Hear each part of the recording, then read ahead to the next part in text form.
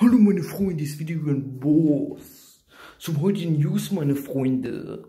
Raf Kamara meinte, vor 10 Jahren hätte Bushidos Karriere mit diesem Stand beendet worden sein. Ja? Weil der Junge zieht ja nur noch rum, Digga. Vor 10 Jahren wäre es vorbei gewesen. Hätte er den 31er gemacht. Aber heutzutage ist er long, Mann, ne? Wie komplex die Welt am Arsch ist, Mann. Merkt dies, meine Freunde. Komplett am Arsch die Welt, Mann. Ja?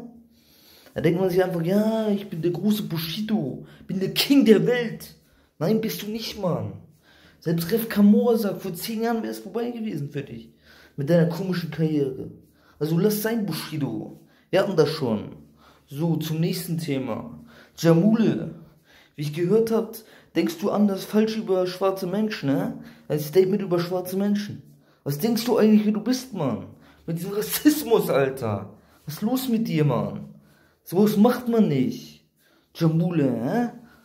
Ich hab dich als neuen, freshen Künstler gefeiert, Junge. Und dann machst du so eine Scheiße, Mann. Lass das sein, Mann. Verstehst du? Lass die Scheiße sein. Kein Rassismus, Mann. Benimm dich, Mann. Sonst gibst du nur einen, nur einen Boss. Du weißt, Mann. Verstehst du?